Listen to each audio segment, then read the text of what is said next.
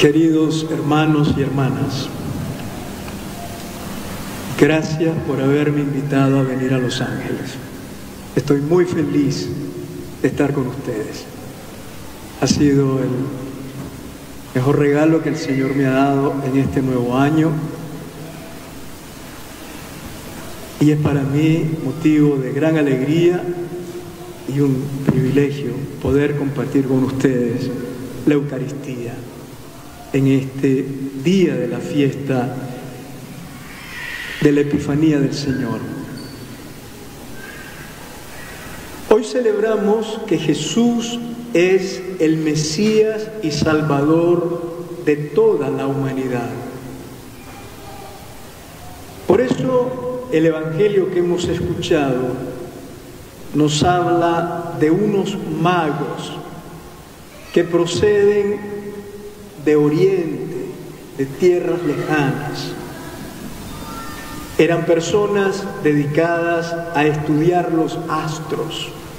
Más que magos, eran sabios que escrutaban el cielo. Vivían observando el firmamento no por simple curiosidad, sino buscando nuevas luces para orientarse en la vida eran hombres en búsqueda del sentido de la existencia y de Dios. Los magos eran buscadores de Dios y se han convertido en modelo de todos los que queremos en la vida buscar a Dios. Un día estos magos vieron una estrella que los conmovió e intuyeron que estaba ocurriendo algo nuevo e inesperado. Se dieron cuenta de que aquella estrella les anunciaba el nacimiento del rey de los judíos.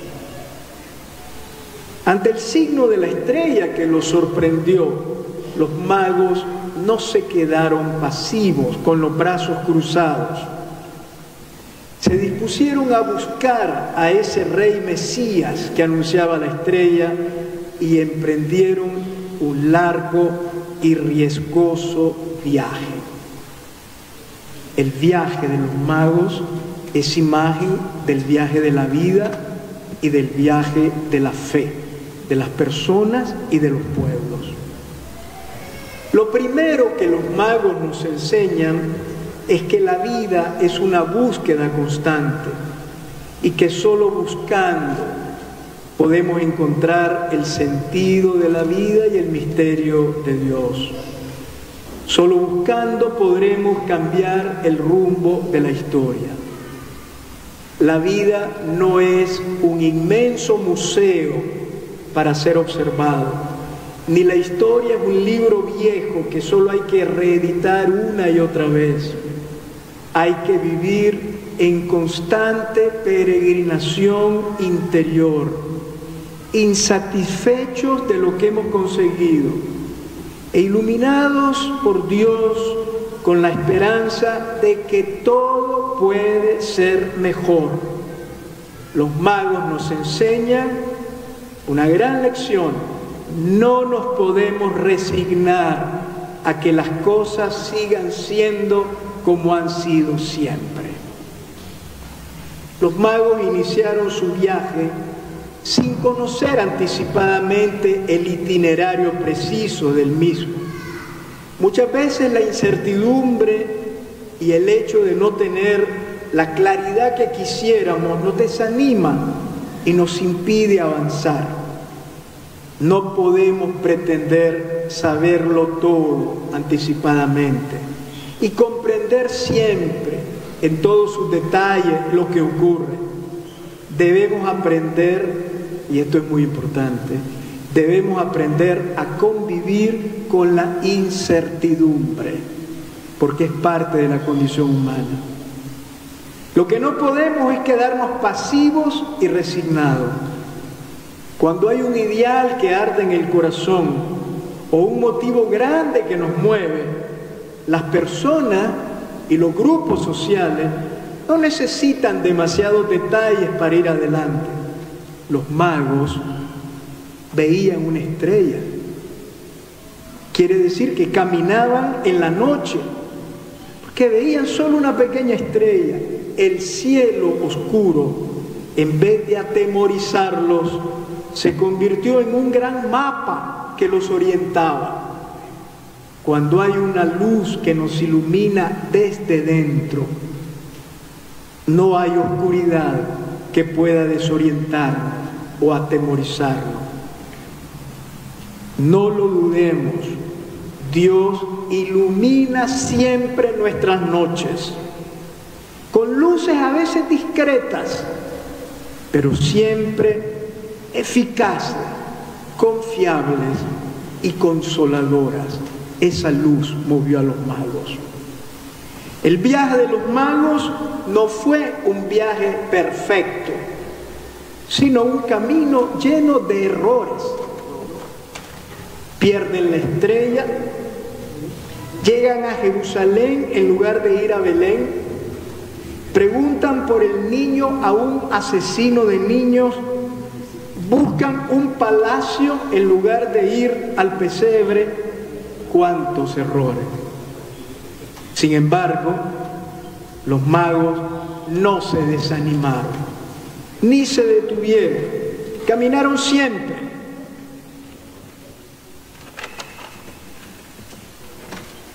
Las personas y las sociedades también, como los magos, nos equivocamos. Lo trágico no es equivocarse, sino no reconocer los errores. Lo terrible no es caer, sino quedar caído y no levantarse más. Los errores humillan, pero enseñan. Las caídas duelen, pero nos dan experiencia. Vivir es rectificar continuamente. Los nicaragüenses sabemos bien que en nuestra historia como pueblo hemos vivido épocas muy oscuras en las que se han llegado a cometer terribles errores. Pero a pesar de los fracasos y frustraciones, no lo olvidemos, siempre es posible volver a empezar y seguir caminando. El Señor hará brillar siempre en nuestra historia nuevas estrellas que vuelvan a encenderse y nos inviten a seguir adelante. Los magos inician un viaje que los trae de lejos, atravesando seguramente desiertos y ciudades al ritmo de una caravana. No intentan ir a un paso más rápido de lo que le permiten sus fuerzas. No se detienen demasiado distraídos en cosas secundarias. No se desaniman ante lo largo del viaje, ni se dejan vencer por el cansancio. Los magos nos enseñan a caminar en la vida y en la fe a las personas y a los pueblos, sin detener el paso, pero sin vivir obsesionados por la prisa. Esta lección es muy útil a nivel social, porque los grandes cambios sociales son lentos, son procesos. La historia no da saltos, los cambios sociales no se consiguen de un día para otro. Y los cambios sociales son todavía más lentos y complejos cuando, como en el caso de nuestro país, hay que superar tantos vicios sociales y políticos que han dominado nuestra historia, tales como el sometimiento de la ley a las arbitrariedades de los poderosos, o la indiferencia de la gran parte de la ciudadanía frente a la realidad social y política. Y si constatamos que las cosas no cambian, con la rapidez que quisiéramos, hay que tener paciencia histórica. No hay que desesperar. Tampoco hay que bajar el ritmo del camino o la intensidad de la lucha. Hay que perseverar pero hay que perseverar anticipándonos a vivir ya desde ahora el ideal de sociedad que un día queremos conseguir. Debemos esforzarnos desde ahora, y esto es ya caminar hacia una nueva sociedad, esforzarnos por liberar nuestros corazones de ambiciones mezquinas, renunciando a la indiferencia ante la problemática social, creciendo en la conciencia clara de nuestros derechos y deberes ciudadanos, dejando a un lado el arribismo, el culto al mesianismo de los líderes y la corrupción. El viaje de los magos a Belén no fue un viaje individualista. La tradición dice que eran tres magos. El Evangelio solo dice algunos. Son un pequeño grupo de personas que caminan juntos. No va cada uno por su cuenta. Y ellos son maestros en el camino de la vida y de la fe. No se va en modo individual. El camino humano o lo hacemos junto a los demás o nos desviaremos al barranco del egoísmo o de la desesperación. Mientras caminan los magos, ciertamente miran la estrella, pero también ciertamente se miraban unos a otros. Se fijan en quien va al lado. Los magos nos enseñan a caminar en modo solidario capaces de bajar el ritmo de nuestro camino para no dejar a nadie rezagado o para tender la mano a quien se le va haciendo más pesado el camino. Vamos juntos. Los magos nos enseñan a caminar como pueblo, sin ponernos zancadillas, sin darnos codazos, sin estar siempre acusándonos y descalificándonos una cosa es el espíritu crítico y el derecho a las legítimas diferencias, pero otra cosa es el canibalismo político y las rivalidades estériles. Caminemos como los magos, viéndonos como hermanos y hermanas a la cara, tendiéndonos la mano y respetando nuestras diferencias. Nadie tiene que ser distinto de lo que es, pero cada uno debe dar lo mejor de lo que es. Finalmente los magos se dirigen a Jerusalén y llegan al palacio de Herodes. Fue otro de sus errores. Llegan allí preguntando por el rey de los judíos que acaba de nacer y a quien dicen ellos que desean adorar.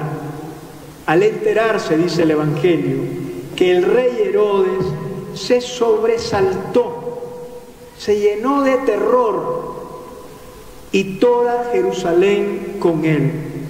Qué curioso, cuando llegan los magos a Jerusalén, el que más miedo tiene es el rey, el más poderoso. Los tiranos aparentan ser valientes, y se presentan altaneros y agresivos, pero son muy miedosos. Se sienten continuamente amenazados.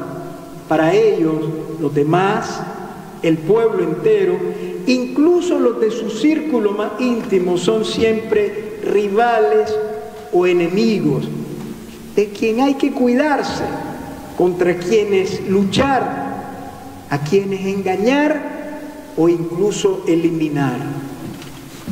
Herodes y su corte representan ese oscuro mundo de los poderosos, donde todo se vale con tal de asegurar el propio poder, el cálculo, el cinismo, la mentira, la injusticia, la violencia. Vale también la crueldad, el terror, el desprecio del ser humano y la destrucción de los inocentes. Los tiranos de ayer y de hoy se disfrazan de defensores de la paz y del orden, pero son crueles y desalmados como Herodes. Y terminan siempre como él, provocando mucho dolor y derramando sangre inocente.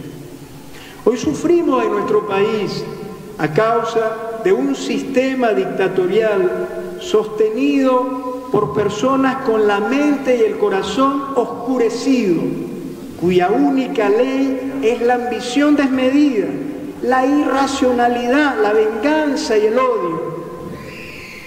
Los secuestros y el encarcelamiento arbitrario de tantos hermanos nuestros, entre ellos dos queridos obispos, Monseñor Isidoro Mora, obispo de Ciuna, y Monseñor Rolando José Álvarez, obispo de Matagal, y varios sacerdotes, casi 20, más dos o tres seminaristas, entre otros tantos secuestrados y encarcelados.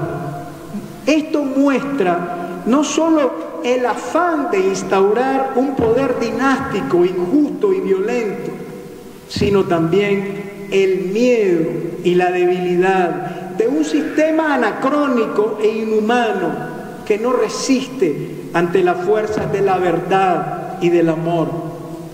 Por eso odian a la iglesia.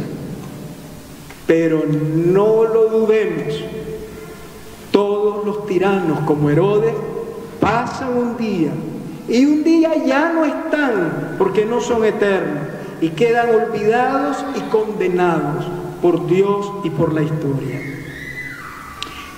Aunque Herodes quiso engañar a los magos, estos, reorientados por la escritura, ven de nuevo la estrella y finalmente llegan hasta donde está el niño rey Mesías en Belén.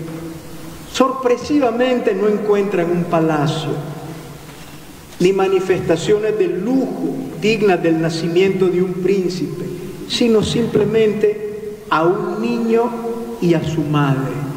Esta es la frase del Evangelio. Vieron al niño con María, su madre, y postrándose lo adoraron. Los magos finalmente adoran a Dios.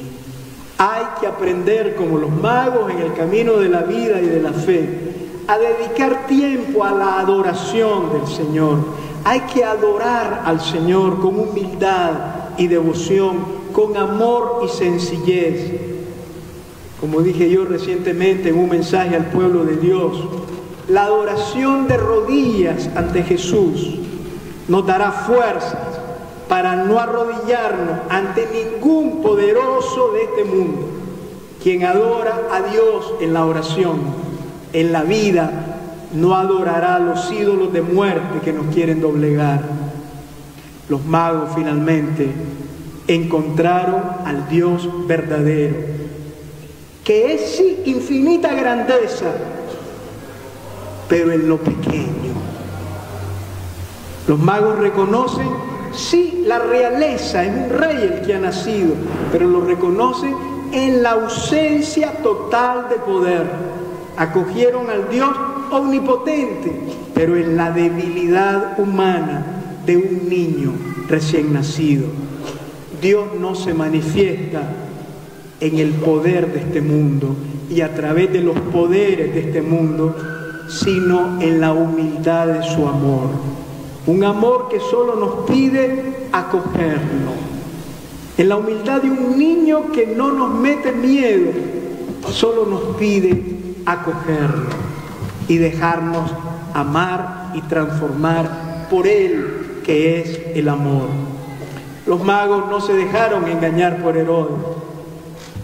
No tuvieron miedo del rey ni le obedecieron. Volvieron a dejarse guiar por la estrella. Otra vez Dios guía su vida y llegaron hacia la pequeñez y la pobreza de un niño en quien Dios le salía al encuentro. No tengamos miedo al poder, ni nos dejemos intimidar por sus engañosas falacias. Confiemos siempre en la bondad de Dios, mucho más en la bondad de Dios que en el aparente esplendor de los poderosos. Después de adorar al niño, los magos, avisados en sueño, dice el Evangelio, de que no volvieran a casa de Herodes, regresaron a su tierra por otro camino vuelven a la vida ordinaria por otro camino. Y esta es la última lección de los magos. Hay que estar en la vida siempre dispuestos a tomar otro camino cuando sea necesario y rectificar. Los magos vuelven ahora iluminados por la verdad y transformados por el amor de Dios que les salió al encuentro en el niño de Belén.